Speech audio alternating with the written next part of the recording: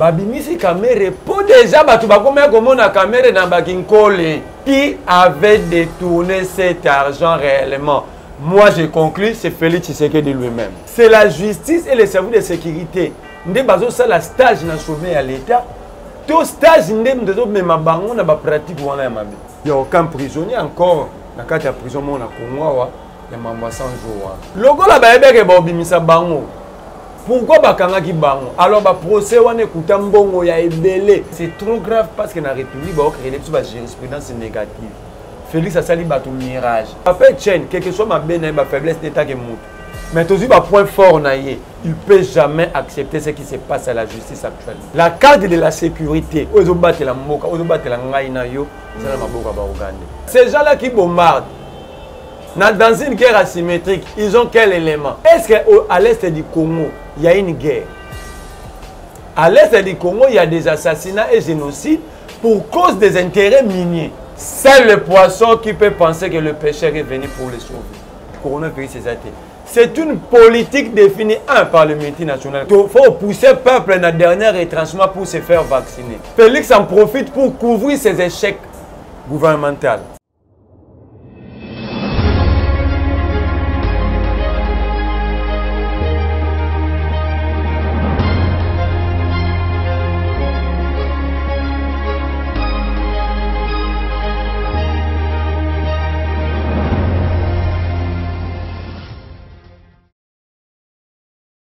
Boti na bino bandeko balandi ya plus clair télévision la chaîne de vérité la chaîne qui vous informe à temps réel boyei malamu na émission na bino ya vérité de tout côté oyo ezali émission epai wapi tolobelaka oyo etali politique sécurité mpe sociale ya mboka na biso république démocratique du congo na mokolo ya lelo mpenza na esengo ya koyambela bino ndeko merlin vuvu na ye tokobeta masolo na oyo etali bongo mise en liberté provisoire ya ancien euh, durca de chef de l'état monsieur vital camere tokolobela mpe oyo etali situation sécuritaire à l'est de pays mpe tokokota mwa moke na oyo etali euh, covid-19 bamesure oyo epesami mpo na koyeba kolute contre covid-19 na mboka na biso mbote ndeko merlin vuvu mbote mama judith mbote na bala nyonso ya likila tv ya liboso na kopesa makasi na ba resistant ya poto na oyo bosalaki fabrigas oyo bosalaki elakisi ke boza kaka na kati ya bitumba wana ngai nabangaki nayebi mwa mobali akekweisa bilombe ebele boye na mikili ya poto napesi bino makasi longonya ndenge bosali kabeta te me tolingi bofongola yango lisusu bana ya bakonzi ya mboka oyo oyo bakendaka kotanga na poto bakendaka kozwa traitement fo banda mpe kozongisa bango awa ozobanda ozongisa bango a ah, o oh, ministre akende ko se faire soigner zongisa ye o oh, député akende se faire soki bobandi kozongisa bango ndenge bokosala bamusicien bokomona bamama yeme kotongama bahopito asika ekotongama bauniversité ekomokipe ekipe mpo bayebi ke bana na bango baa na place mosusu akokende te bakotangelaka merci beaucoup ndeko vuvu tokota na masolo ya biso ya mokolo ya lelo ndeko vuvu toyebi ete mikolo eleki ya plus d'une année ozalaki na prison na makambo oyo etali détournement toloba moyibi parce que actuellement soki bobi moyibi na détournement ekomi lokola bamo mibale différent pourtant so toloba détournement na lingala tokoloba moyibi alors nakola lelo tomoni mokolo elekaki vital camere na procès ya 100 jours ayebaki kozala coupable mpe azalaki na prison mais actualité oyo ezali à la une na mboka na biso sikoyo ezali mise en liberté provisoire oyo bongo cour de cassation epesi ndal kamere mpe balobi ete dossier na ye ezali à poursuivre mais na minute toolobela ndeko vital kamere ezali bongo libre provisoirement yo oyambi nouvelle oyo ndenge nini nayoki pasi eza lokola ngai na kulutu na ngai juge raphael yani nde bavictime bato oyo bazwaki misolo wana baza bavictime te kulutu na ngai mpe ya son ame juge yani akenda boye likolo ya makambo ya posa 100 jours ngai moto nabelelaki bazoyiba mbongo inane 3 mois na 2 semaine na prison napesi mbote na bato oyo tu basutenaki ngai na etape ya pasi wana na papa fonsala na bakongomani nyonso libanda mpe na kati ya congo mais tomoni ke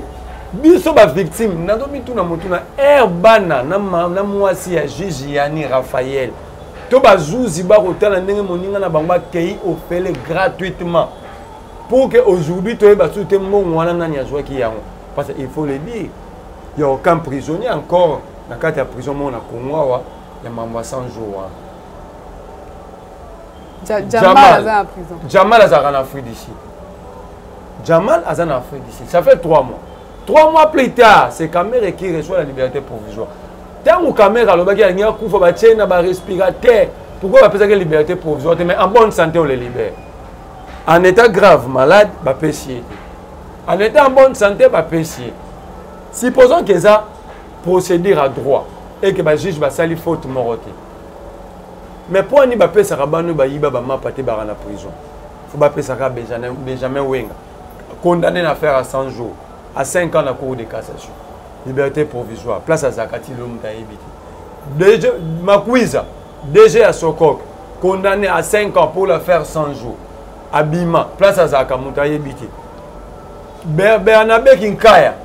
en fuite kalev mutomb en fuite john numbi en fuite willi bakonga libéré et puis en fuite au finish c'est la justice et les services de sécurité nde bazosala stage na sommet ya l'état to stage nde moto ezomema bango na bapratique wana ya mabe parce que baluka bakanga mutulu akimi baluka bakanga kalef akimi boya na posa 100 jour bato tu babima thierry timans dg ya robank là où affaire tout ya mbongo epasaki de la banque centrale à la robank akenda na ye liberté provisoire aza na belgique robank achangea na ye dg déjà safricas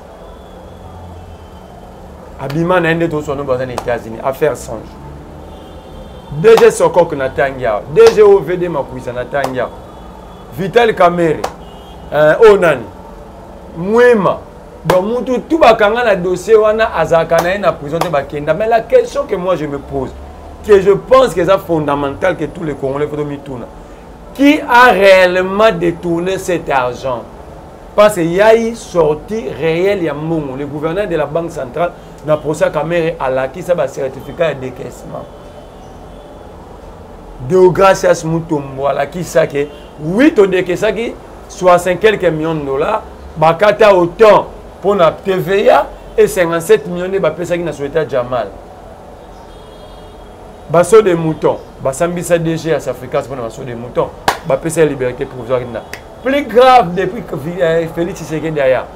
papa moko akendimaki nda qatar à faire 15 millions. Patron et ma société, ma restaurant, Tricana, Georges Keteliam. Donc en fait, moi je comprends le fautifs, le maître à jouer, les coachs, les techniciens maison s'appelle Félix Antoine de Tshilombo. Mais ndeko Merlin, selon la Cour de cassation, Azali libéré provisoirement, mais babi dossier na Azali à poursuivre. Mais j'ai été cité de libéré provisoire na même Cour de cassation. Mais est-ce que wana babi que dossier Azali à poursuivre? Babi non. Mais soit pesi mutu liberté provisoire. Et ça te bango ba loba, ye ben que dossier ko fungama plus tard. Ye ben parce que babi ngo liberté provisoire. D'abord soit pesi mutu liberté provisoire, faut ba restreindre champ liberté no ko bimate. Faut justifier ba partout au Kenya. D'ailleurs, ezaka na période moko faut se présentaka devant ba juge mpo bayeba kozali mais natangeli yo bato babima na liberté provision balasu na mboko te natangeli yo georges ketel yamo jamal rien ne prouve que kamere va encore répondre parce que nous avons des prisonniers à ciel ouvert ici hein. bruno chibala mike mukebayi tous des libertés des, des libérés provisoirement en liberté provisoire chibala est devenu premier ministre donc un prisonnier à ciel ouvert mais premier ministre dans ces pays nous avons eu des premiers ministres prisonniers Mike Moukebaï, libéré en liberté provisoire. À son on a un député. Nous avons un député prisonnier alors. Donc, Tozon Loba, na Odea Bala qui s'appelle ça, ça dit, les, les dirigeants congolais sont dans une sorte, il y a, y, a, y a solidarité négative. Alors, moi je pose maintenant la question, où est l'état des droits Pendant que na prison ya Makala, nga nazala na prison na kuta mutu bakanga pona coup et blessé volontaire. Oyo eza na peine maximale ya 6 mois. Donc so bakangi na coup et blessé volontaire, osala ka 6 mois maximale. Mais mutu wana asala 3 ans abima aveugle. Lokola bayebeke baobimisa bango, pourquoi bakangaki bango alors baprocès wana ekuta mbongo ya ebele sécurité ya bajuge wana ya baavocat ya république Déplacement, retransmission na télévision. Et au-delà de tout, les peuples ont perdu de leur temps pour suivre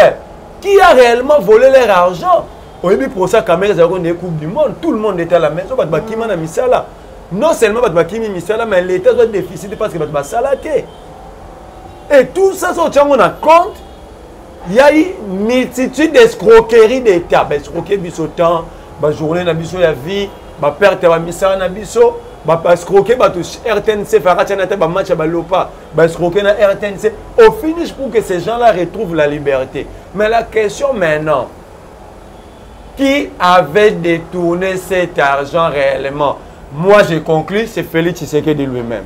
merci beaucoup bandeko ya plus claire télévision boyoki ndeko merlin azotuna qui a détourné réellement l'argent ya congolais boyoki ndenge azoloba apesi félix tshisekedi lui-même parce que félix ayebisa biso kamere c'est un homme correct et honnête comment un homme honnête ou correct bakokanga ye na kimoyibi mpasi ntango oloba bongo biso te toloba ya, ya jugement ya justice à deux niveaux babi monsieur kamere oyibaki 20 ans akei na cour d'appel babi oyibaki mais balekisaki nde mwa ndelo fozwa 13 ans mais président après tout ça le président dit c'est un homme correct et honnête donc comme kamere aza honnête est correct. Mm. Et dans la procédure administration, dans le droit administratif, le directeur de cabinet a saint rambons la caisse à l'État. abimisaka te ya dans le frais de fonctionnement la mm. présidence de la république il est travailleur à la présidence mm. alors première infraction à félix c'est d'avoir transformé la présidence de la république au centre de l'ordonnancement de la république Deuxième infraction à Félix, c'est d'avoir transformé la présidence de la République à l'exécutif. Parce que projet 100 jours, il a géré la carte à présidence. Chilingelou, géré la carte à présidence. Troisième infraction, Caméra cité à plus de 1000 fois le nom de Félix Tshisekedi. Vous n'allez pas me dire que nous avons des chefs de l'État. Quand Félix dit, quand Caméra dit c'est au nom du chef de l'État, le chef de l'État c'est Tshisekedi. oyebi na mboka oyo babalola motuka ya prison bolela solo justice ya congo na mboka oyo babalola motuka ya prison ekomi mpena na molar a 100 mètre ya prison makala babenge ebaluki ezongi le procureur katambwa mokonkole napesi ye mbote mpe aza amapa héritier watanabe oyebi infraction ya héritier watanabe ezaki nini oyebi ma influence asalaka atteinte ya lapida et au bonne mex so tokoki koprotege bamare cité toprotege nini merci beaucoup ndeko merlin euh, vuvu mwana mayele tokoti nanu totali na ngambo ya udps ndeko merlin komona bandeko ya udps komanifeste kotumba bapneu na nzela Yo ezo lobela o nini? Ce n'est que le début. Tolobaka ba vrai adversaire à Félix. Ils sont là bango plus tard. Parce que maintenant était longondo la liberté provisoire non, mais était longondo za sous soit terre. Donc bango mo ba, ba combattant wana. Na pesi bino merci pour boko momo na ke biso to ba bino bo ba biso to ko mesana. Mais na comprends que bino ne boko ko mesana te. donc ba combattants ba bango balobela na biso toza contre vision chef de l'état tozi bango te eza vision te eza makambo ya solidarité négative eza makambo ya système nayoki moto moko alobi na facebook azo regrete temps na ye alekisaka kozelaka baprocès na tv ngai nayebi se est ce que biso bacongomani toza na temps ya koperdre dans un pays où les gens naissent déjà chômeurs toza na temps koperdre te yango wana basakani na biso babia ata bato ah mama joel likomba tasali une semaine atalaka dosio na tv ana eloko asala te na bomoi na ye kamere bima babimisi kamere mpo deja bato bakomaya komona kamere na bakinkole babi baese eyebani nango cope ese revese mwa mai bimaka mais c'est trop grave parce que na république baokrele biso bajurisprudence négative en droit le procédure veut que bacree bajurisprudence positive donc bajurisprudence oyo ezofaire avancer république ke lobi bakoyetisa omoni moko tozwa moni apesa exemple mo moni mboso ndenge akomela président assemblée jour tozwa président de la république ya voyou akoutilize bajurisprudence wana tondoganga kaka ah, bato baviole loi bobozani ke ya jurisprudence parlementaire e merci na bacombatant idps mpo bokoki komesana te ndenge biso deya na ebandeli toboyaki komesana ndeko merlin tolingi tosouligne eloko moko mokie na bandeko ya udps bango baomanifeste pourquoi parce que na makambo elekani ya ya détournement komona nde justice eyekambama to pourquoi nini esali ke bandeko ya udps bamanifeste batumba bapne c'est quoi au juste basali sommation ya mamu na oloba no mm. atu bato mwana aza destitue et puis cité na rapport détournement 300 millions akimaki basali sommation 3 ans après tozala baloba tosala bilan à mi mandat sans fanatisme etaki congolais congolais ils ont compris que euh, état de droit oyo baloba na français solo mirage félix asali bato mirage et malheureusement biso tokotaki na mirage ya te bango bakotaki baomoma bazo réclamer un vrai état de droit et ils ont compris que chen tshisekedi akenda na slogan na ye ya état de droit papa etienne tshisekedi akenda na idps na pexeri bango bakunda papa etienne na drapo ya idps te bayokaki te papa etienne akenda na programme na ya le peuple d'abord papa etienne akenda na état de droit parce que papa etienne quelque soit mabe na ye bafaiblesse netake motu mais tozwi bapoint fort na ye il peut jamais accepter ce qui se passe à la justice actuellement D'accord, merci beaucoup euh, Ndeko Merlin Vouvou. Parlons un peu de la question sécuritaire en République démocratique du Congo, précisément na Na est ya mboka na biso toyokaki dernièrement euh, ba Ougandais, armée ougandaise eza na RDC mais bazalaki euh, 1700 déjà bakotaki, il fallait 300 babakisama mpo esala 2000 militaires hein, ougandais mpo ete ba lutter contre ADF. E toyokaki na mambo na mikolo eleki opération conjointe ezosalema déjà, batire ezosalema déjà, bazo détecter ba ADF e mais sikoyo 300 restants bakiti na mabele na biso epuis chef ya armée ougandaise alobi ete bakolongwa na rdc na est ya mboka kino bakosilisa na ba adf nyonso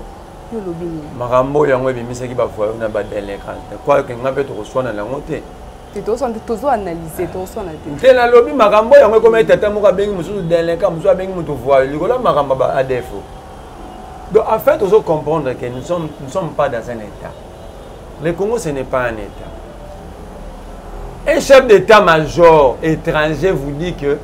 mabele wana eza ya bango alors bakobunda ti bakorestaure état place wana na peu mpo peuple oyo ya bango avanda na kimia moi je me pose la question il est dit en guise de quoi donc cela prouve en suffisance que le congo n'a pas gardé ou nous n'avons pas réussi à protéger les 200 de 2 345 000 km carrés de notre, de notre terre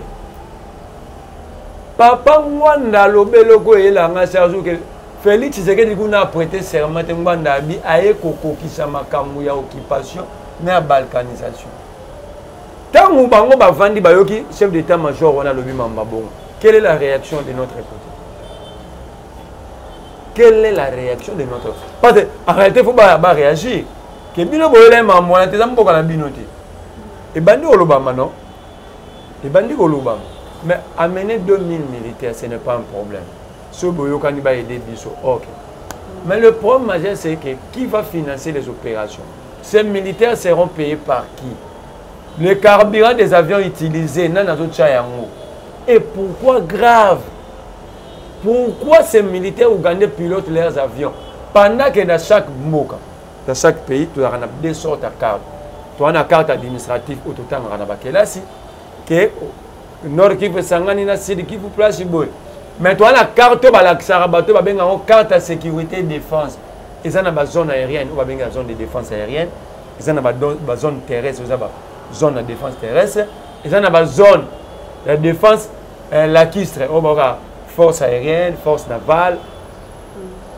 ntango bapesi bapilote wana ugandais bapilote baavion bapesi bango carte ya sécurité ya congo aérienne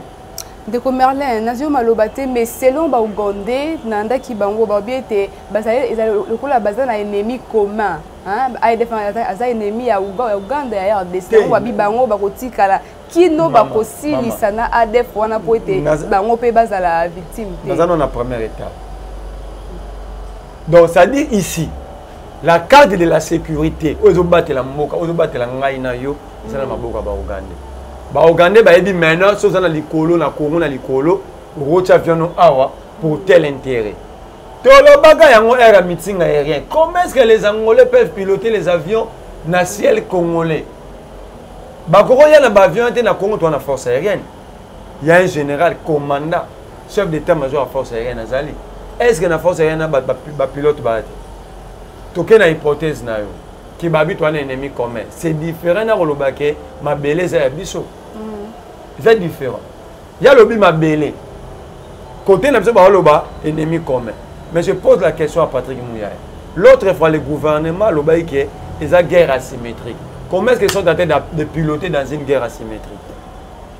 comment dans une guerre asymétrique boye na babombe oyebi guerre asymétrique eza nini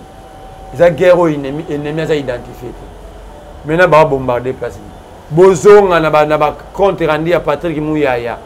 aloba si l'état de siège eke na pas de torti parce que nous sommes dans une guerre asymétrique est ce que dans une guerre asymétrique babombarda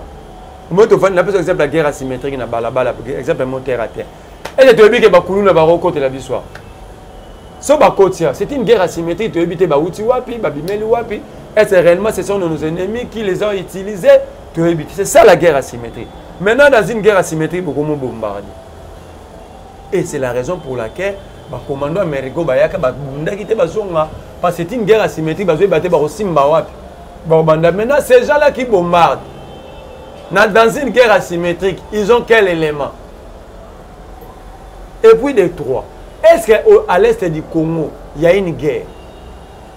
à l'est du Congo il y a des assassinats et génocides pour cause des intérêts miniers pour cause des intérêts miniers so babombarde bongo samsung atiki koexploite coltan soki ba bombarde bongo ba américain basalaka ba fusée batiki ko exploiter zinc le problème c'est l'organisation bato wana tout bazwaka minera congo sans permis d'exploitation ils en profitent se multinational wana esika félix aoka efukama chaque jour bapesa ye mbongo esika azoka efukama chaque jour basunga ya glisse esika baoka efukama chaque jour ce sont ces gens là qui sont à la base et le rwanda n'est qu'un prétexte bakokota pa na ye le rwanda est le sous-traité la porte d'entrée et malheureusement un sous-traité à se retrouver na ye puissant à sous-traiter na ye mpe bato mosusu la guerre elle est asymétrique pour cause des intérêts natuna félix question famille na ye na est esaka nini ya ye moko nano famille na ye christian tisekedi roseline mbombo oyo babengaka le peuple na est depuis quand bango bakoma osepela kovanda na est deux tous les généraux et officiers supérieurs de l'armée de la police bakoma bamillionnaire bazwa mbongo wapi ce sont des questions que nous devons d'abord régler et puis de trois na félix na ngai tozaloba ntango ya kabila non l'armée est infiltrée vous allez résoudre chasser la malaria par la malaria rapport officiel Résolution Conseil de sécurité ya mois d'octobre cite le Rwanda et l'Ouganda comme le pays qui alimente l'insécurité à l'est. Alibobengi donc ngai na violer mwana na yo alobenga na kosoigner parce que bayebi so na almente. Na aloba ngo mikolo na lisese na mona Félix a comprendre te. C'est le poisson qui peut penser que le pêcheur est venu pour le sauver. sel le poisson nde oyebi aomonaka so pêcheur aye aye mpo abikisa ye abosani ke vi na ye momba eza mai merci beaucoup bandeko balandi ya plus claire télévision tokende na kochute ndeko merlin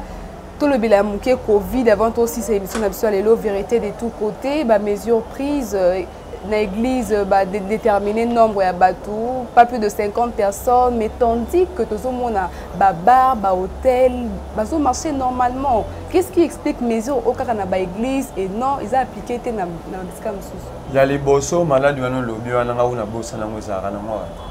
covid 19 ezalaka te awa ezalaka te soki ezalaki me félix akenda fete ya mwana françois beyate ya mwana bemba te ti 23 heures sans cache ne azoyambana na bato donc ye alingaka ne liwa félix tshisekedi aza na mposa kufa ye nde ape azo message kezalaka te botanga moni na oyambana ba jean pierre bemba bazofilme azolia na ye atie kasi ne te c'est juste que coronavirus eza te c'est une politique définie un par le multinational comme ba bill gate faut pousser peuple na dernier retranchement pour se faire vacciner donc but eza vaccin but ya vaccin deuxième chose félix en profite pour couvrir ses échecs gouvernemental omoi tovandi a toi na décembre bientôt le fête de nouvel an mm. afuti bato te on a tras olela 18 mois kote o 5 mois qu'est ce qu'il faut faire il faut otya bamesure baye bato bamona ke tofetaki te mpo toyei na covid-19 c'est un système pensé développé etango olobi babar tangelanga mokonzi ya mboko ayiba mbongo atonga bauniversité babibliothèque batongaka babare na baboite soso bakangi yango bakofifre ndenge botele ozomona na babare na bate awa teke na teke bare mo eza awa ya mama sénatrice sikoyo ese ya ondima bakanga babare donc c'est dit c'est un système pour assujettir le peuple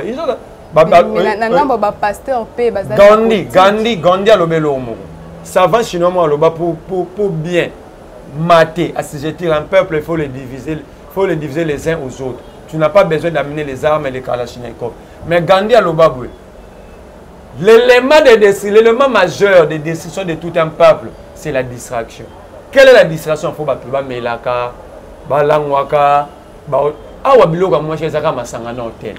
omona hotel ya ligue soki etuna prix be 5 dollars 10 000 francs donc meme mwana moko akokeka abeti matolo ya 10 000 akoti na ye ebanda bakolo bahotel wana mingi omona baministre bango batongana nkombo na bango te so fefe koko ya mwasi ya intel ya leki ya intel cestadire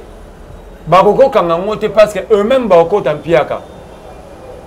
eza cop c'est une fois c'est un moyen de distraction de, de, de distraire un peuple po moni soki omeli masanga tirbo basa excuse nga bamasanga mosusu batekaka yo kamina bibale 2500 merci beaucoup papa moko aza merlin vuvu naye na gentini mpo gentini moto basalaki conseil ya bagouverneur babimisi biloko est ce que gentini aza mpena moto fo azomerite ozala gouverneur yoka makambo alobi ti 2023 bato bazoloba nde bayebi gestion te bakomona osi ya misala mais se gentini yo nde oyebi te mpoza yo kutu oza matere te fo tokomela académie française baluka moi ekokalifie yo po oza d'abord ange oyo ayaka ya suka po mokili ekufa ange oyo amema sango koboma sodome gomor oza wat a ah, place toza tala na ngambo no chemin de fer atongi marché pa betonango donc ayaka to ndenge akobetone chemin de fer sikoyo du début à la fin ti 2023 soki oke na kabine na école gentini abuka atongi yango wenze gentini azoloba bakochange maison communale lingwala maison communale na butu ekoma hotel oh. bapolisi oyebi prix nango combien hotel wana 1000 francs bapolisi baza wana soki yo ozwi mwasi ya ndumba oye na yo opesi bango 1000 francs bakotisi ona maison communale ya lingwala nabi na yo nazotuna général kasumu na bourgmestre d'abord kutu nde na jeudi na ozala pa bourgmestre fo ngai nayebisa yango en face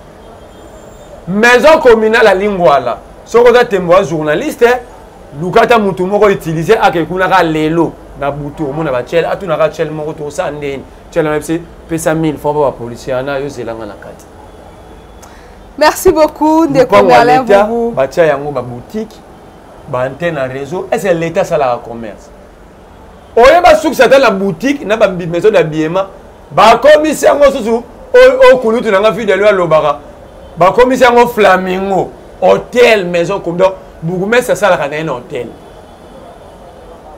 ce n'est pas une malédiction maison communale eza en même temps eza ka oyo te naza koankete soki bamaison communale na oyo ya commune ya kinshasa moni maison communale ya kinshasa ya lingwala ya barumbu ya kalamu tu wana ekomaka bahotel na butu yo oza mopanzi sango eza parole d'évangile te soki miso eleki bakoluka précaution lelo kaka boutilize mutu ake kuna omona bachel bakokota kuna 1000 francs policier azwi merci beaucoup ndeko merlin vuvu ezali kopesa mpasi koyemona ndenge mboka ezotambola bandeko balandi ya plus claire télévision tokómi na suka ya émission na biso émission vérité de, de tout côté epai wapi tolobelaka oyo etali politique sécurité euh, mpe sociale ya mboka na biso mais avant tokabwana ndeko merlin vuvu message na yo na baoyo bazolanda yo na mokolo ya lelo baretenir nini na émission ya lelo ya liboso Nabandeli koyebisa kulutu na ngai Moindo Nzangi bayiba bambongo basalaka baja ba liberté provisoire ba grâce présidentielle atika kosimba science ce que nous devons regarder propre limpide c'est la science koma ye mpo atya moto bato papa moko aza na kindu aloma mpo atya ye na conseil d'administration ye moko azoloba nde ozomérite mais condition eza nini akota na ong na ye bia akota na parti ensemble pour la république ça c'est quelle politique universitaire ya, ya mibale na koloba na bakongomani liloba eloko etikali kaka moko seule solution totikali nango c'est la révolution c'est la révolution qui va sauver ce, ce pays bapoliticien ba, ba, balakisi balimite nyonso bathéâtre nyonso baaventure nyonso cette fois-ci il faut que le peuple prenne ses responsabilités Nous allons sortir, se révolutionner, se soulever pour libérer ce pays parce que c'est la bonne et l'unique solution qui nous reste. Merci beaucoup Ndeko Merlin Vouvou. Cette fois-ci, il faut que le peuple prenne sa responsabilité maloba ya ndeko merlin vuvu tokomi na esuka émission na biso vérité de tout côté toyambelaki bino ndeko merlin vuvu mwana mayele mpona kosola oyo etali mboka Merci na bino bozalaki ebele ya kolanda biso partout dans le monde entier. Merci na Joël Gona, chasseur d'images, ondaki bongo na sima ya caméra. Merci au DG de Plus Clair Télévision, euh, Joël Kombe. Merci à Popo Layombe. Merci à Grace Tumba, à toute l'équipe technique, euh, sans oublier les cordons Opi Mafuiku. Merci bozalaki ebele ya kolanda biso yo ozui olandi vidéo oyo kobosana te ko liker, au partager. yo ozwi mokano ya koya na biso kaka mokolo ya lelo kobosana te osabone na chaîne de vérité la chaîne qui vous informe à temps réel plus clair télévision tokutani mbala nsima au revoir